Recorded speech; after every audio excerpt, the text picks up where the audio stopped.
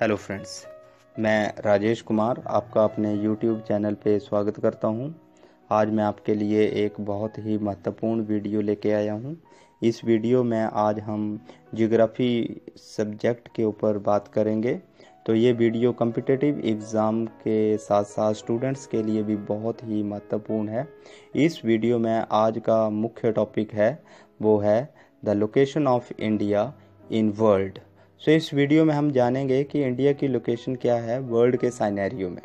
तो आइए इस वर्ल्ड मैप को देखते हैं। इस वर्ल्ड मैप में कुछ हमें लाइंस दिखाई दे रही हैं। इन्हीं लाइंस को हम लैटिट्यूड्स और लॉन्गिट्यूड लाइंस बोलते हैं। तो आइए एक एक करके इनके बारे में जानते हैं। इस रेड कलर की लाइन को हम इक्वेटर बोलते हैं, जो कि ज़ीरो डिग्री की लाइन है।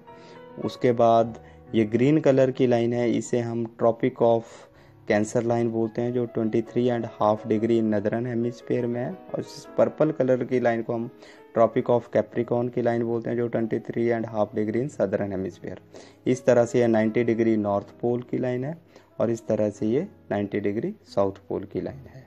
तो इस तरह से इक्वेटर पूरे वर्ल्ड को दो पार्ट में डिवाइड करती है, एक है northern hemisphere and second one is the southern hemisphere so, these are the most important hemisphere of the earth. Then, ये नॉर्थ से लेके जो साउथ तक लाइन है, इसे ज़ीरो डिग्री लॉन्गिट्यूड लाइन भी बोलते हैं। ये भी अर्थ को दो पार्ट में डिवाइड करती है। That is the eastern hemisphere and second one is the western hemisphere इस तरह से इक्वेटर और ज़ीरो डिग्री लॉन्गिट्यूड लाइन चार हेमिस्फेयर में वर्ल्ड को डिवाइड करती है।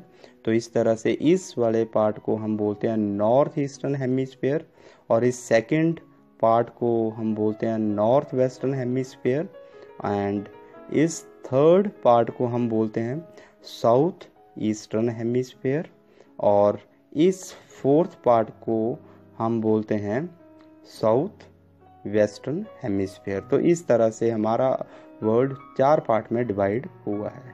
तो इंडिया की जो हम लोकेशन है, वो है नॉर्थ ईस्टर्न तो अब जो लेटीट्यूड एक्सटेंट है इंडिया का, वो eight degree four minute thirty seven degree six north and longitude eight sixty eight degree seven minute east to ninety seven degree twenty seven minute east if you like this video please share like